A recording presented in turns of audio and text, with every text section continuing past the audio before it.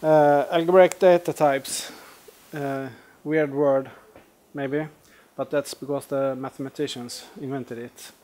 It's a pretty simple uh, thing, really. So, um, yeah. So in math, algebra is about numbers in all different forms and the operations you can do on numbers. Uh, and we can do, of course, I think all program languages can add numbers and stuff, but what about types? How do we add or multiply types? Can we divide types? Does it mean anything? Well, in programming we only have two algebraic data types. It's product types and sum types. And uh, the first programming language that had these uh, came in 1970. It was a functional programming language called Hope. So it's been around for a long time, but uh, not many languages have them, unfortunately. So let's start with product types. So what could that be in programming language. Multiplication. Well, it's pretty simple. It's in Elm, it's a record type. In JavaScript, that would be an object, or in C Sharp, a class. So in this example, uh, the sum type, we could create uh, eight different values, unique values from that. And that's because a Boolean can have two values. And we have three properties. So it 2 times 2 times 2. So that's 8 values. That's, that's not so hard. Um, so the mathematician, mathematician thinks it's kind of funny to say, well, when do we multiply the types? That's when we type this in. We create a new type and we add those properties. That's when we multiply in programming. Uh, not something I think about when I program. Oh, I'm going to multiply these types. I just use them. Um, I guess you do too. So in this case, uh, since some type has eight values, and we have two properties of the same type, the product from this is that we can have 64 different types. It's 8 times 8. Yeah. So product types, they are simple. Um, we have one other product type in Elm too. They're called tuples. It's when you're really lazy and don't want to name your properties, you can use a tuple. Uh, it's uh, very useful in uh, when you do uh, like a computation, do several computations in row, and you need to return like two values from a function, but you just use it locally. Then tuples are really good because then you know what it is. If you're uh, passing around a tuple, it could get hard to know what uh, this Boolean string actually means. Um, yeah. So that product types. Sum types then. What are these? Can we add types? And how do we do that? Uh, most all languages don't have this, or, very, or they have a simple version of it. If we look at Elm, you can declare a sum type like this. If you, I don't think we have anything that we could call sum type in JavaScript, uh, but in uh, like C Sharp, we have enums. That's the closest thing. But in C Sharp, an enum compiles to an integer, and you can cast any integer to the enum type. Uh, even if you haven't declared a value for it. So they don't get it right, I think. Um, um, so these are called union types because we list the, the values we can have for the type's shape. It has three different values. Um, and if we add a fourth value, we don't, yeah, we have four. But we can do more with the union types in Elm. Uh, we can add values to each type. Uh, so now this, I, th I, think they call this a, a, type constructor. So when you create a square, uh, you have to pass an int to the. So in this example, I, I thought, well, um, how do I define a square? Well, all the sides in the square are of equal length. So we just need one value for that. A rectangle it has a width and height, and they can be different. So we have two integers for that. And just for fun, uh, I made the circle radius float. And of course, you can uh, put other uh, union types or product types in this definition when you have more complex examples, but we'll come to that. Um, yeah. So a little bit more code. Maybe we should try and execute this. So I'll, I'll switch over.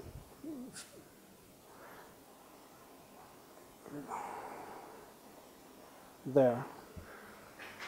I'm not going to type anything. I'm going to use the a REPL to execute the code, so I don't make any mistakes typing at least. so we create the type, and then to create an instance, we see that it's of type shape, and that has a, a square value of 2. And of course we can create the other types too. A nice little rectangle there and a circle. So how would you use these values then? How, how do we get the, the radius out of the circle, for example? Because the, if you would pass this around, you would pass around the shape.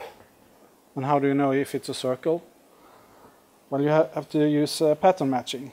And it looks like this. Uh, at first we have the type signature, it's a shape, and we return a float. Uh, so you do a, a, pattern matching, you write case shape of, and then you have to list all the values of the shape. Because if you don't, you get a compiler error. And you, uh, a nice one too, actually. So if I only have these two, let's see yeah, it says I have a missing pattern. You need to account for this, the circle that I didn't. So add that. Um, so that's nice in uh, Elm. We add that. So when you add something to the shape, you get compilation errors and you know where to fix the code. Unless you use the wildcard pattern. Um, and that's like this. You can return like a hardcode value. Uh, that would swallow all other cases. If I compile this, I would get a compiler because I have all the three values listed here. Uh, so the recommendation here is try to avoid that case uh, or be lazy and use that because one day you need it and you have a bug. I think it's better to get that compilation error than get something in runtime exception or something. Um, yeah. Uh, and then we can calculate this, use that function to see if it works. It seems so. Yeah. And the pipe operator, I do everybody know about that? It's not about the sum of product types, but it's a really nice thing in Elm. So um, if I rewrite it, how what what happens is that it evaluates the expression on the left side because everything in Elm is expressions. In, in C Sharp and Java, you have statements. So what happens here is evaluate that and then that value is passed in as the last argument to the next expression, this function here. That so it, it's like calling rectangle 5 with 3 there, and then it produces a new value, and that value is passed in as the last value to calc area. So you can write the codes uh, like you read, from left to right and from top down. in JavaScript, you have, if you want to call function g before f, you, you type f, parentheses, g, then you have to read backwards. So they stole this from F Sharp. it was real nice. They had something from Haskell first, but this looked nicer, they thought. So, yeah. Um, yeah, that's just, yeah. We have some built-in sum types. Uh, one you may use a lot is the maybe type. It uh, has a, a, type value here. The A is, so you replace it with a type. If you're doing C Sharp and Java, you know um, generics, it's called. So if you have an int, you can create a maybe int. If you have a string, you can create a maybe string. Uh, so there, you don't have to create one maybe for each type that you want to use. You just you can reuse the one that's there. It's generic. Um, the result uh, is often used. Uh, it's used in when you make HTTP calls and uh, if you use WebSockets. They sometimes fail, unfortunately. Then you get the error result and you can choose an OK result. Um, yeah. When you get that far in Elm, you're, you're going to see it a lot. Um, so let's try a little more uh, complicated example. I didn't want to use the example you see on Wikipedia and everywhere else, where you create a tree, because it's so mathy and functional programming, and some people get scared from that. So let's use sockets instead, because that's so easy. um, so this is maybe how it would look like in uh, C Sharp or JavaScript, if you would program in sockets there. Um, you have a connection state, or some type, and we have the state here, and we have the server we're connecting to. Um, and when we're connected, we have a session ID, in some protocols, you, you ping the server to see that they're there. Then you set these values. That's because everybody's maybe. Because uh, when you get disconnected, for example, uh, you set this one. But then maybe you should remember to uh, unset these, set them to nothing. Um, so that seems a little bit complicated to remember all these rules when you do stuff. You probably forget some. Um, I know I have done that in the past. So we can do this better with Elm. So let's refactor this a bit. Uh, let's create a, a, record type for each state that we have with the values they have. So when we are connecting, we have the, that property, and connected, we have a tuple of the last ping and the session ID, and disconnected, we have the timestamp for when it was disconnected.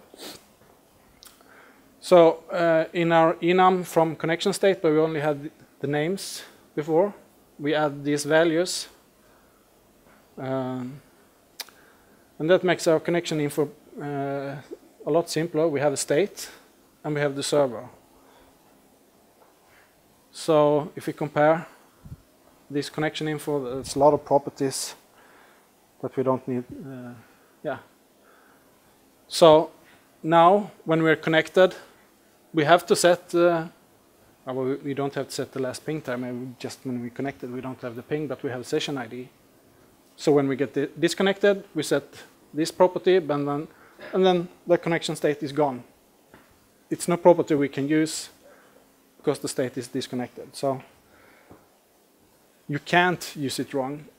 And we have eliminated, eliminated the, the illegal states uh, some call this type-driven development, the next version of TDD, maybe. But uh, you need to write some tests, but uh, compared to this, you need to write a lot less tests, because here you have, would have to write the, the all, all code that uses this record type, you have to check all the states that is set them correctly and so on. Here you get a compilation error if you try to set something that isn't there, if you try to set the session ID when you're disconnected you get a compilation error. Yeah. That's good. Um, let's talk about a, a, simple function call. I think most of us have written something like this. A function that you pass something into it, it search your database, or maybe you have an array in memory or whatever, and it returns something, in this case a customer. Um, that's like the uh, C-sharp signature, and this is how the signature would look in Elm, a string to customer. But I think we can do better than this. Because in a functional programming you pass around functions. If you pass around this function signature, I mean, what string? I get a customer back. Is it the email? Is it his first name I'm going to pass in? Because that's probably a string too. I think we should do something about that. Well, the simplest thing is just to create an alias for string and call it an email. But it's still a string. But then you can change the type signature. And, and now you know what to pass in, that it's an email, and you get a customer back. But I think we can do even better, but you have to write like at least four lines of code more. Um, let's create the union type with only one value. Um, that has the value email, and that's a string. So I would put this in a module, uh, an email module, and I would have two functions. One that creates an email, because then we can put the validation for the email there. At least check that there's an at sign. Uh, and then we have one where we convert the email to a string. Then it, it's easy to use in. How would you do this in C sharp, for example? Um, well, uh, you can look at how, how F-sharp code is compiled to MSIL and then decompile it to uh, C-sharp. What you get is a base class, uh, and then each uh, uh, value here is a subclass of that. Um, and I tried it with uh, three simple properties. In, so it was like four lines of C sharp, F sharp, decompiled to C sharp, it was 500 lines of code because it adds uh, in, in, F sharp you have um, uh, structural equality. So when you create two different instances, it compares each property in these instances to see if they're equal. So it adds the get hash code equals, uh, it overrides those things. So. And I would never write that much C sharp for such simple thing, really. Uh, I don't think anybody does. Well, maybe Uncle Bob. Uh, I would certainly not do it. It's too much. It's like when I program in C Sharp, when I, so I used an enum, I always thought, oh, maybe I should create a class instead because that property belongs to that state in the enum. But it's just that little thing. Ah, oh, no, I, I, don't. I do it when, when it grows, maybe later. Uh, and I actually think I'm, I try to create clean code and as good code as I can. But uh, there's a limit to everyone. Uh, so now we have a nice signature to our uh, get customer function. Uh, let's see. Uh, yeah, if we show this. So when we pass in an email, that matches a customer, it's pretty simple. We get a customer back. But if we send in an email that we don't have a match, what do we do? For example, in C Sharp and Java, we could throw a customer not found exception. Anyone think that's a good idea? Is it an exception? Well, I think exceptional cases is like out of memory exception. That's an exception. Um, and in Elm, you can't throw exceptions because you can't, you ha don't have any exceptions there. You could uh, crash the entire program, perhaps. That's some kind of an exception, but that's really bad user experience, I think. so then what? We could return null. That I've seen used many times when you don't find anything. Um, so then you pass the problem on to the caller. You think, oh yeah, I got a customer. What's his first name? Dot first name and now you get an exception, a null reference exception. Um, and in Elm you can't return null because they don't have nulls either. So now what? Well, in OO, there's, in object orientation programming, there's a, a null object pattern. You know that. You create an object that represents the no customer thing. It seems to be hard to do. I've only seen one project used it a little bit. Maybe because we are not good enough in OO, because we put the logic somewhere else, and then all of a sudden this uh, null customer gets an invoice, and then you have a big problem. and in functional programming, you, you separate the logic from the data, so there it kind of don't make sense either. So we changed uh, the signature in Elm to a maybe customer, of course, because you pass in an email and you maybe get a customer back. That seems right. Huh? So I would say that uh, the C sharp and like these signatures, they kind of lie. They say they return a customer, we're not sure. Maybe you have to read the code to see what it actually returns when you don't find anything. But here it's here it's obvious. It's a, you get a maybe customer, and then to get the value out, you have to do pattern matching, and then you know that's nothing. Yeah, what should I do? In this case, I return an empty string, and if it's actually a customer, then E is the customer, and then I can get the name out. So you can't forget to check it. You get a compilation error. But in C Sharp and JavaScript, you have if not null, then I can do something. This is much better. Yeah, and that was all I had.